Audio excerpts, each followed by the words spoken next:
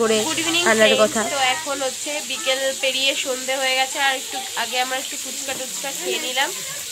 আর এখন আজকে রাত্রেবেলা আমাদের রান্না হচ্ছে মাংস আর তার জন্য সব গোছানো গাছানো কমপ্লিট আর আমি তোমাদের দেখাচ্ছি কীভাবে রান্না করছি। আর মাংসটা আজকে আমি একটু রান্না করছি কারণ কি করব বসে বসে থেকে ফোনেও চার্জ নেই কোনো কাজ নেই। তো আমি করে দিই বেশ একটু টাইমটাও পাস হয়ে যাবে আর আমার ভালোই লাগে রান্না করতে। তো চলো তোমাদের দেখাই। তো এই দেখো আগে আমি এখানে আলু ভাজছি তো এগুলো কালকে সেই অনুষ্ঠানের সেই বড় গ্যাসটা এটাতেই রান্না করে নিচ্ছি কারণ এটাতে রান্না করলে একটু ভালোই হবে, সেই জন্য। তো আলুটা সবেই দিয়েছে, এখনও ভাজা হয়নি আলু, তো আলুটা ভাজা হতে থাকুক। আর এই দেখো এখানে আমার মাংস, তো এটা মুরগির মাংস। আর এখানে আছে রসুন। বাবা। তো এই দেখো এখানে আছে পেঁয়াজ, রসুন, আদা আর কাঁচা লঙ্কা বাটা। আর এর মধ্যে, এই যে এটার মধ্যে লঙ্কা আর জিরে বাটা। তো এটা আমি এখন বের করছি না, আর এই যে এখন আমার আলুটাকে আমি ভেজে নিই ভালো করে। তো একবার সব গুছিয়ে নিয়ে বসেছি, এখন শুধু রান্নাটা করব। কালকে সকালে আমরা বাড়ি চলে যাব, তো ওই জন্য এই রাত্রেবেলা এখন আমরা একটু মাংস আর দুপুরবেলা মাছের তরকারি সব এখনও রান্নাবান্না রয়ে গেছে, তাও আমরা রান্না করছি এখন। তো চলো আলু টালু ভাজা হয়ে যায় যখন মাংস করব তখন আবার দেখাচ্ছি। আর এখানে দেখো আমি সব আলুগুলো ভেজে তুলে নিয়েছি, আর আমি এখানে একটু মুরগির মাংসটা একটু ভেজে নিচ্ছি। তো একটু যে তেলগুলো আছে ওগুলো দিনই ভাজতে, বাকি সব মাংসগুলো একটু ভেজে নিচ্ছি। এরকম করে রান্না করলে নাকি অনেক ভালো লাগে খেতে। তো হ্যাঁ সত্যি আমি এরকম করে রান্না করে আমি তো খেয়েছি, তো ভালোই লেগেছে। মাংসটা অনেক টেস্ট হয়েছিল। আর এখন এই মাংসগুলো আমি ভেজে নিচ্ছি। আর এখানে দেখো ফোড়ন দেওয়ার জন্য লঙ্কা, জিরে, দুটো কটা এলাচ, আর একটা চারটে তেজপাতা নিয়েছি। এখানে আমার সেই কাঁচা লঙ্কা, তার সাথে আদা, পেঁয়াজ, রসুন যেগুলো, সেগুলো ফোড়ন দিয়ে একসাথে ভাজাভাজি করা শুরু হয়ে গেছে। আর এর মধ্যে একটু লঙ্কা মানে গোটা শুকনো লঙ্কা আর গোটা জিরে আমি বেটে দিয়েছিলো, ওগুলোও দিয়ে দিলাম। আর এবার এটা ভালো করে একটু কষিয়ে নেব, নিয়ে তারপরে হচ্ছে মাংসগুলো দিয়ে কষাবো। আর আমার একটু মনে হচ্ছিল যে লঙ্কার গুঁড়ো কম হয়ে গেছে, ওই জন্য এরকম মাংসগুলো দিয়ে আর একটু লঙ্কার গুঁড়োও দিয়ে দিয়েছি। তো চলো এখন আমি রান্নাটা পুরো করে নিই, মাংসটা কষানো এখন শুরু করব। তো একটু পরেই কষাটা হয়ে যাবে, জলও দিয়ে দেবো। তো এই যে দেখতে পাচ্ছ তোমরা, মাংসটা এখন রান্নাও হয়ে গেল। তো আশা করছি রান্নাটা তোমাদের ভালো লেগেছে। তোমরা একদিন হলেও এরমভাবে করে খাবে। কাঁচা লঙ্কা, পাকা লঙ্কা, দুরকম লঙ্কা দিয়ে করলে অনেক টেস্ট হয় মাংস খেতে। আর ফোড়নে একটু এলাচ গরম গোটা গরম মশলা দিলেও সুন্দর একটা গন্ধ হয়। আর মাংস টেস্টটাও অনেক ভালো হয়েছিল। তো এখানে আমার রান্না বান্না হয়ে গেল। আর আজকের মতো মানে রাতেবেলা আমরা খেয়ে দিয়ে ঘুমিয়ে পড়ব সবাই। আর এই দেখো পরের দিন সকালবেলা আমরা এখন বাড়ি চলে যাচ্ছি। আমরা এখন এই যে বিরা স্টেশনে বসে আছি। তো বাবার শরীরটা একটু খারাপ ছিল দেখে আমরা তাড়াতাড়ি চলে যাচ্ছি। আজকেই নয় ভেবেছিলাম আজকে দিনটাও থেকে তারপরে যাব।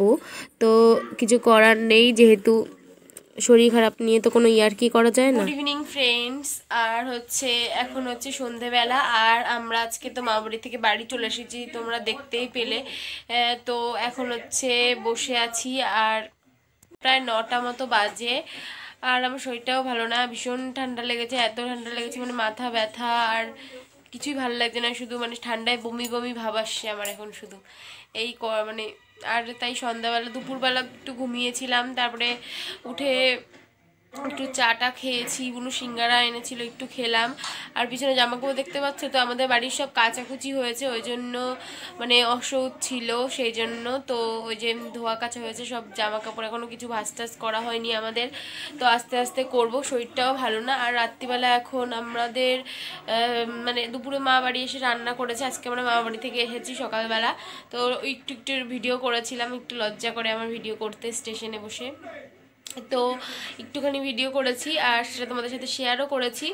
আর এখন হচ্ছে সন্ধ্যাবেলা এখন একটু রান্না বান মানে সন্ধ্যাবেলা বলছি কেন, এখন রাত্রির বেলা। এখন আর সন্ধ্যা টন্ধা নেই। তো এখন রাত্রেবেলা একটু বেগুন ভাজা করব আর একটু রুটি বানানো আছে। তো মা সারাদিন অনেক মানে এসে কাজ করে মার ভীষণ কষ্ট হয়ে গেছে, মা একটু শুয়েছে। আর আজকে দুপুরবেলা আমাদের কি বেগুন পোড়া করেছিল, তার সাথে হচ্ছে মূলো দিয়ে, ভোলা মাছ দিয়ে, শুকনো শুকনো তরকারি। আর তার সাথে হচ্ছে পার্শে মাছ দিয়ে কচু দিয়ে তরকারি রান্না করেছিল। আর এখন তাই জন্য তরকারি আছে দু রকমের। মা বলল একটুখানি কিছু ভাজাভুজি করার কথা, তো বেগুন ভাজা করব আর তার সাথে ভাতটাও রয়েছে দুপুরে রান্না করা। আর এখন শুধু একটু রুটি বানানো আছে, তো চলো ভাত মানে ভাত বলছি কেন, রুটি আর বেগুন ভাজাটা করি। চলো তোমাদেরও একটু একটু দেখাচ্ছি। আর হচ্ছে গিয়ে তারপরে আবার খেয়ে দিয়ে ঘুমিয়ে পড়ব, আর কি কাজ আছে। তো চলো আগে বেগুন কেটে লবণ, হলুদ আমি মাখিয়ে রেখে এসেছি। এখন শুধু গিয়ে শুধু ভাজাভাজির পালা। আর এখন বাড়িতে মানে একটু ভালো লাগছে না, সারা একটু টিভি দেখছিলাম সন্ধ্যাবেলা থেকে, কারণ বাড়িতে হচ্ছে পার্থও বাড়িতে নেই, তার থেকে বড় কথা হচ্ছে বাড়িতে একটা মানে ভীষণ খারাপ একটা জিনিস হয়েছে। তাই জন্য মানে সবাই যে যার ঘরে চুপচাপ, কোনো মানে সেই মানে একটা কেমন একটা ভাব বাড়িতে, নিস্তব্ধ নিস্তব্ধ ভাব। ঠিক আছে, যা যেটা হবে সেটা তো হবেই। আর তাছাড়া হচ্ছে এখন চলো আগে আমি রুটিটা বানাই, তোমাদের সাথে দেখাচ্ছি। আর এখানে দেখো বেগুনটা কেটে লবণ, হলুদ, চিনি মাখিয়ে রেখেছি, এখন ভাজাটা বসিয়ে দেব। আর আটাটা মাখা হচ্ছে ঘরে।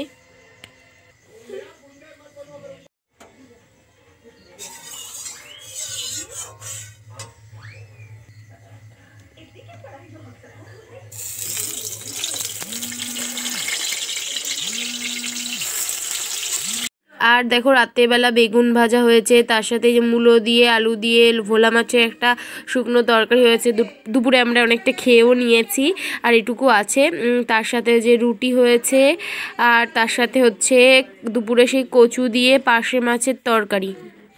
গুড মর্নিং ফ্রেন্ডস তো এখন আজকে ভিডিওটা আমি এখন শেষ করার জন্য মানে ক্যামেরাটা অন করলাম। তো কালকে পরশু দিন থেকে পরশু দিন থেকেই তো মনে হয় পরশু দিন থেকে ভিডিওটা স্টার্ট করেছিলাম, শেষ করতে পারিনি। আশা করছি ভিডিওটা তোমাদের সবার খুব ভালো লেগেছে। যদি ভালো লাগে, তাহলে অবশ্যই একটা লাইক করে দিও।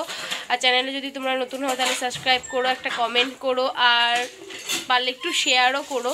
তো, আর যদি ভালো লাগে, তাহলে আর কিছুই বলার নেই। অবশ্যই চ্যানেলটাকে সাবস্ক্রাইব করো। তো কালকে আবার একটা নতুন ভিডিও নিয়ে তোমাদের সবার সাথে দেখা হবে। আর এখন আমি সকালবেলা বসে আছি, এখন সকালবেলা বলতে এগারোটা বেজে গেছে, আর এখন আমি ভিডিওটা এন্ড করছি। তো চলো কালকে একটা নতুন ভিডিওতে আবার তোমাদের সাথে দেখা হচ্ছে। বাই